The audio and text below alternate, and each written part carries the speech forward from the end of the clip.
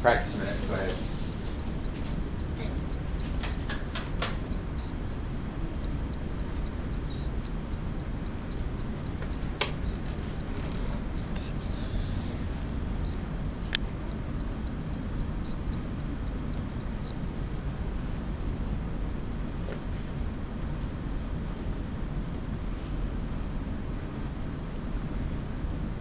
I think the biggest thing with him is exuding confidence. Thank you. Thank you. You know what I mean? His body language is all it's all prepared. He does this thing called neurolinguistic programming. And everything he does from the snap of the finger to the look of his eye, it's all prepared. He's he's he's practiced all of that stuff. And he's so good at it that if he walks in the room, everybody's eyes go to him. Partly because he's six foot seven or whatever he is, but partly just because he and just he's ex- on stage. he but anybody could be on stage and you've seen a lot of ted things not everybody's him right? No noise. Right. Why is that taking so long? Why isn't 1 times 8 equals 8 on there already? You need to concentrate and be faster. Good job. All right. Ready? Thank you. Not thank you. Thank you. Thank you. I have to tell you right? You got it? You ready? Go. But you said it's more, you're more focused on the bad emotions right now. I want you to use some, but it's going to be awfully hard to do that when you have to read. So I understand where, where your challenge is. Let's get started. I don't want to spend all day on this. We don't want to start cutting into our breakfast time or brunch time. Just go. You can make a mistake. Yeah, go. I may restart you. You know that. Thank you. I have to tell you, I'm both challenged and excited. My excitement is I get a chance to give something back. My challenge is the shortest seminar. Seminar. I can't pronounce seminar. Yes, you can. Okay, go, go. Thank over. you. Yep, good. All right. What? I wanted to start over, and you started over. You read my mind. Go. Thank you. I have to tell you. Uh, you. Have. Use your oh, whole I mouth. said have. Have. I Said have. I have to tell you. I have to tell you. I have to tell you. He uses his whole mouth in all the words. You have to do the exercises. Do them. Oh, I do that. I do that before I speak. I stretch my And mouth. that's why you're weird. I know. I'm weird before I get up there. Okay, go, go. Thank you. I have to tell you, I'm both challenged and excited.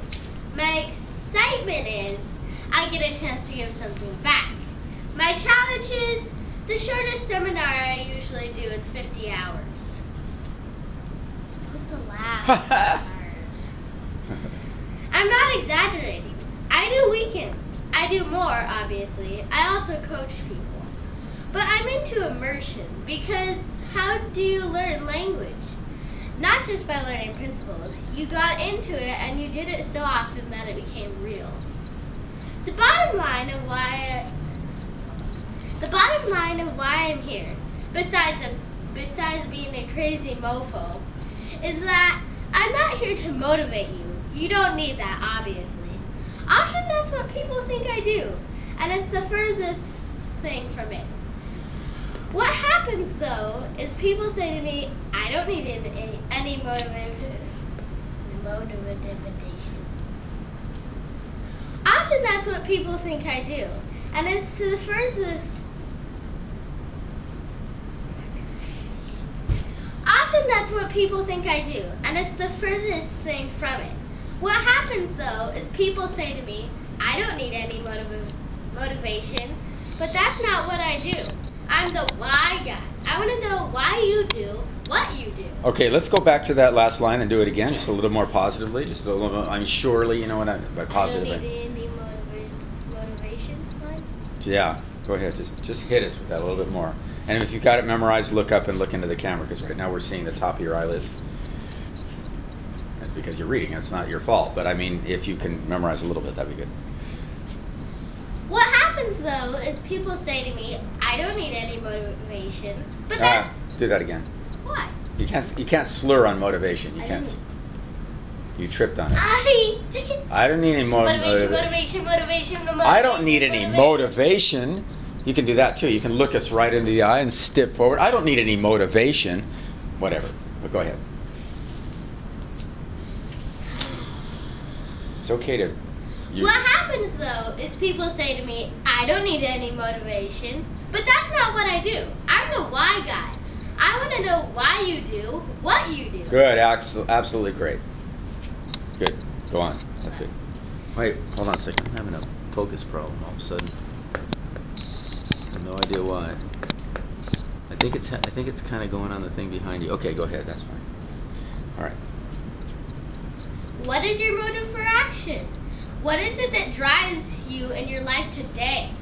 Not 10 years ago. Are you running the same pattern? Because I believe that the invisible force of eternal drive, activated, is the most important thing. I'm here because I believe emotion is the force of life. All of us here have great minds. Most of most of us have great minds, right? We all know how to think. With our minds, we can rationalize anything.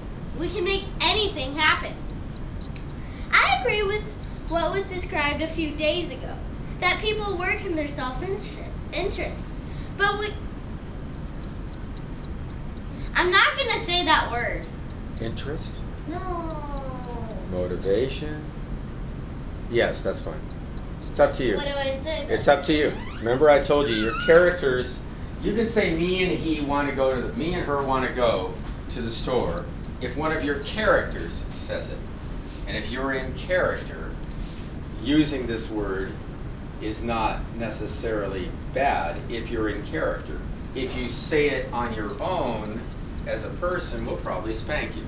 But if you, you, it's the good thing about being an actor here or being a speaker here uh, with someone else's words is you can actually say bullshit and we are not going to spank you. All right? But, and why would we spank? I mean, you know, the whole idea is you don't want to be that kind of a person.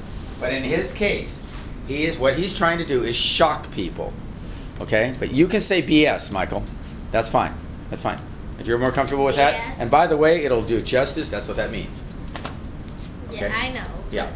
And now, where did that come from? I don't know. All I know is that if it's laying on the ground and it's fresh and it's got flies on it, that that's what he's talking about. All right. I don't want to give you that kind of stuff. Dad. Can you be more creative than him at using vocabulary and shocking them? Absolutely, you can. He's just he, he's trying to draw people who are used to that kind of vocabulary. He's also dressed kind of nicely to be using that kind of vocabulary, so he's trying to shock them out of their comfort zone. But BS is fine, or bull is fine, or nonsense is fine, or the stuff with flies on it that lays in a cow patty, a cow, a cow area, a cow pen. You can do whatever you want, and I think there's funnier, better, more articulate ways to do it than what he just did. I agree with you. So just say whatever you want to say. Go ahead.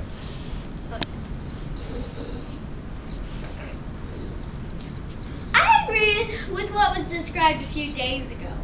Uh, that people work in their self-interest. Okay, okay, hold.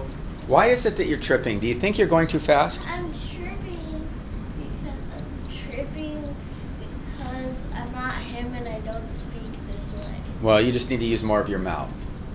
Your mouth. I could say mouth, or I could say mouth. I could actually And use my mouth. And my sinuses are all. Uh, okay, I'll take some of that. But I think part of it is, as a kid, kids are, that you're hanging with, not the actors you see on the, not the best of the best, talk really fast and slur their words, and they get along with each other just fine. Or they say like every other five seconds. It's like, it's not like. Is that a book or is it? Well, it's like a book. No, it's not like a book. It's a book. Now, sometimes it's like a book. It could be, this is like a book, right? A little bit. I mean, there's pages and you turn them. It's like a book. This is a book. So say it's a book, you know? Yeah. Now, on the other side, Like, dude, stop like criticizing me. and it's probably funnier and more. Sometimes slurring can work, but I don't think it works here. Works. There's actually a K in works. You say sometimes works. Works as if it's a G, right? But there's a K. Got it? Foreigners often do that, especially people who speak the Romance languages will slur or soften their consonants but Tony Robbins doesn't. So if you're going to be Tony Robbins, you have to pronounce the B's and the T's. Bees. All right? Bees. Here we go. You should be done. You should be on the next one. You need to work a lot faster than you're working. Okay, go. I agree with. I agree with what was described a few days ago. That people work in their self-interest, but we know that's nonsense at times. You don't work in your self-interest all the time because when emotion comes into it, the wiring charges in the way it functions. So it's wonder. The wiring changes, right? Yeah. You said charges. It's okay, just so you know. Try that again. You don't work in your self-interest all the time because when emotion comes into it, the wiring changes in the way it functions. Okay, I think let's slow down just a little bit so that you can get all the words out. It's, still interest is, is like three, it sounds like it's three or four letters. Interest. They work in their self interest, right? Instead of interest. say interest, It's not I N T R S T, it's but interest. interest. Yeah, um, that's a little too far. Right, but if you're going to go, go too far. People then will at least understand every word you said, true? Yes. I agree with what was described a few days ago that people work in their self interest. But we know that's nonsense at times. You don't work in your self interest all the time because when emotion comes into it, the wiring changes in the way it functions. Awesome. Now, what I liked about that that you did so well was you looked right at me. Okay, that's good. Now, you may, may want to play with. Let's go through that again and lean into me a little bit, just to play with it, just to play. maybe not, maybe not quite so goofy, but but if you're, this is where you get goofy. This is where you play with. That's what I mean about doing my mouth exercises before a speech. Is yes, that's where you get goofy. Play with that, and then go. Okay, so what does that look like? And then if you look at it on the, are we running out of gas? No. I Okay. Because it's kind of in your way, isn't it? No, no. You're gonna use your- it goes okay. across here. All right, all right. So you get you get my point. Is let's play with it a little bit and see what knocks you off here, and then you can play it back here and say, "Oh, "That did it." That makes me lean in. Then you, what happens is with Tony Robbins is he's given this speech a few times. He gives the same speech a thousand where, times. Where would I put? Where would I lean in? Like because when emotion comes into it, Yeah, or what is is this emotion, or is there some other way? You know, like t- you're. well, I'm saying when emotion comes into it. Okay, good, whatever. Yeah, I'll take that. That's what I mean. I'm not gonna cry. That's where the that's where the pra- no, but I mean that's where the practice comes when in. emotion This is exactly the attitude, exactly the, the feeling you should be into right now. That's exactly right. You want to you're discovering what's going to nail your audience. What's going to make them make a difference once you sit down. That's what you want. Otherwise, why get up and speak? Right? This is not a homework assignment. This is not a classroom assignment. When they do this in the classroom, they're in a big hurry because 29 other kids have to give theirs. Okay? But when they do it for the movies, every little thing from your makeup to where you're standing on the point, you actually have to know exactly where to stand so the cameras are all hitting you at the right time. Even when you move, there's another camera right, and they might have you do that again and again and again and again. But we need to be able to do that pretty quickly because we're not going to get the we're not going to get Hollywood. We may, but I don't necessarily want that. Daddy, has there ever been a camera lens that goes in like a big long line except it's all one kind of lens? So that like it can it has a huge